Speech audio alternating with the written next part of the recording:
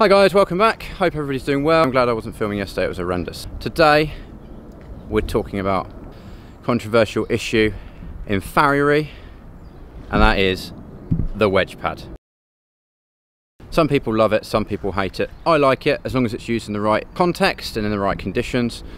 And Indy behind me is the perfect horse for that. She's got broken back hoof and axis. She grows a lot of toe, she doesn't grow much heel, and our whole foot is run forward.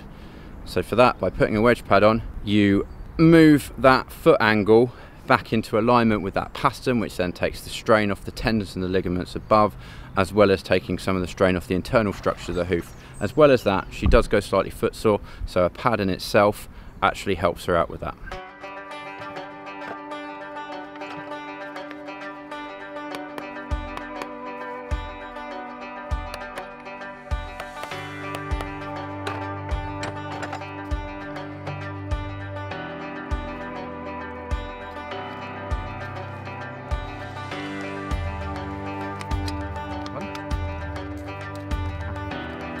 So at this point, the black stuff underneath the shoe is the magic cushion.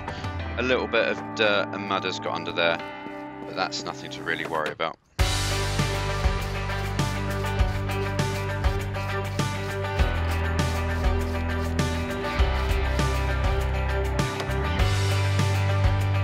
The important part now is the prep. So the foot prep is where I remove any exfoliated sole or sole that should have exfoliated but obviously hasn't been under the shoe and then it also allows me to see what that foot's doing and all my proportions and where everything should be and where it isn't.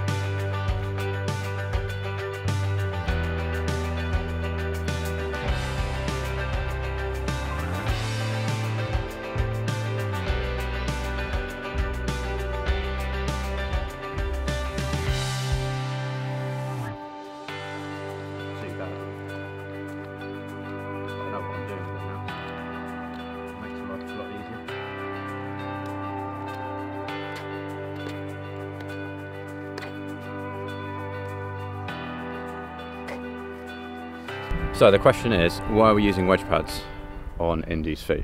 This is Indy. Indy's aged. She's she's over 20 now. Um, as horses get older, their feet do go downhill a bit. So with her, she's got a broken back hoof pastern axis, which is where the foot and the pastern aren't in alignment. And she grows a lot of toe. She doesn't grow much heel, and what heel she does grow runs forward underneath her.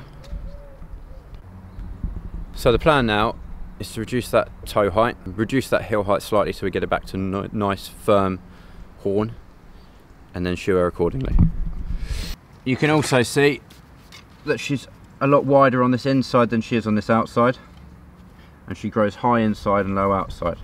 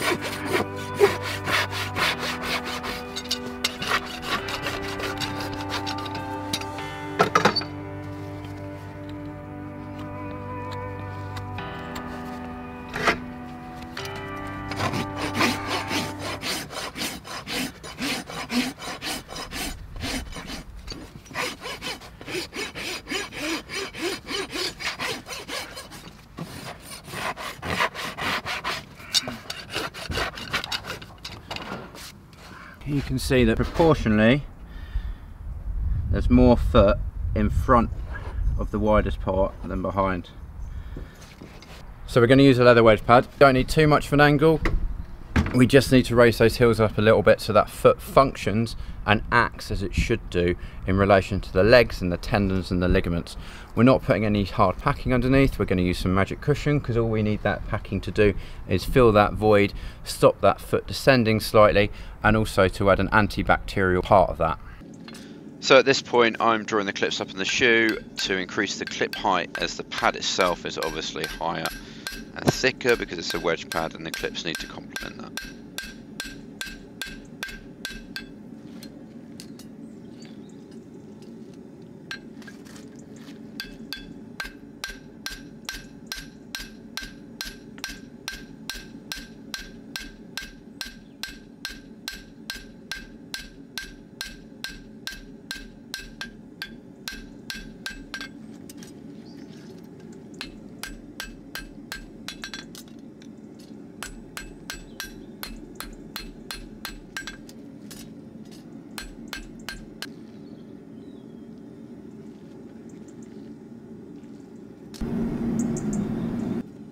And now I'm using a tool called a fuller to widen that outside branch of the shoe, allow me to fit with a bit more support to the outside of that foot, which complements the fact that it is the contracted side.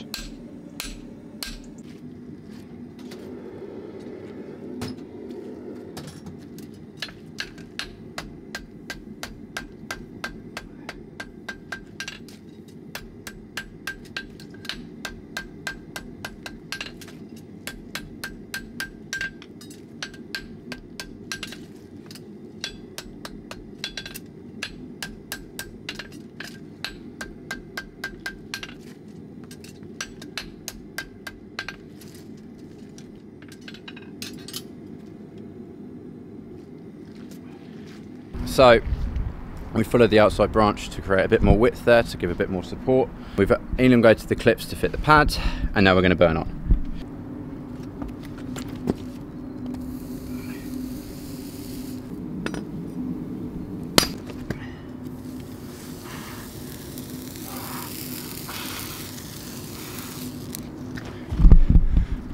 I'm not cutting my clips in because when I put that shoe on there'll be a pan in the way anyway so I want that shoe to be slightly wider than I want it normally which accommodates for the pad. So these are the leather wedge pads we're going to be using. They're a Mustad pad. I quite like them. They provide just enough of a raise in the heel area to do what I want them to do for, for this horse in this specific case.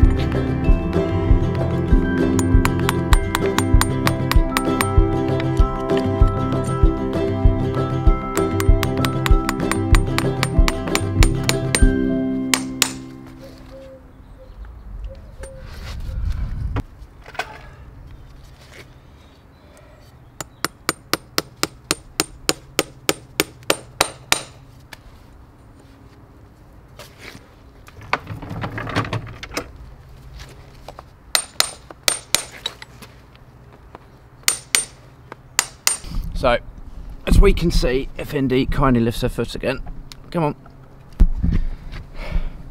That's the chew on the foot. So this is before we're all finished and clench up.